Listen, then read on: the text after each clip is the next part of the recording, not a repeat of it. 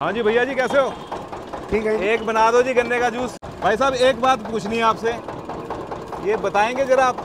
हैं? हाँ पूछूँ बात? हाँ, पूछो पूछो। तो ये बताएँ गन्ने के जूस के क्या फ़ायदे होते हैं? गन्ने के जूस के एक लीवर का फ़ायदा और एक हार्ट वगैरह का इनको मतलब ज़्यादा फ़ायदा होता है। वो क्या फ़ायदा होता है जी? हार्ट वालों का क्या फ़ायदा है? मैंने तो सुना था रेड वाइन होती है हार्ट वालों के लिए बढ़िया स्पेशल ये पहले बताएँ ये गन्ना है कहाँ का? ये राजस्थान का है राजस्थान गए थे आप लेने? नहीं वहाँ से आता है। अच्छा मैंने सोचा कि चंडीगढ़ से राजस्थान लेने गए थे। वहाँ से आता है डेली आता है? दूसरे तीसरे दिन आता है। तो कितने गिलास लग जाते हैं दिन में? ये क्या डाला अभी आपने? दिखाना जरा पुदीना। पुदीना और नींबू? हाँ। नींबू भी है? नींबू डालेंगे। अच्छा ठीक है जी वाह जी वाह। तो ये गन्ने को एक गन्ने को कितनी बार आप डालते हैं मशीन में? बस दो बार और डालेंगे।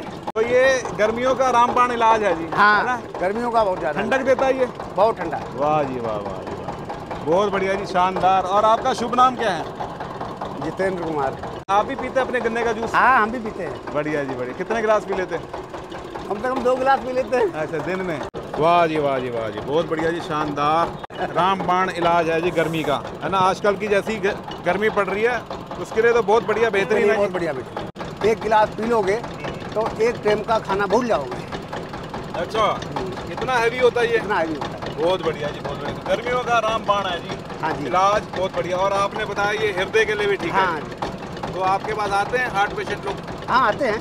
अच्छा अच्छा। आते हैं? वाह ये कभी ऐसा हुआ तो डॉक्टर भी आया आपके पास? डॉक्टर भी आते हैं। अच्छा जी आते हैं।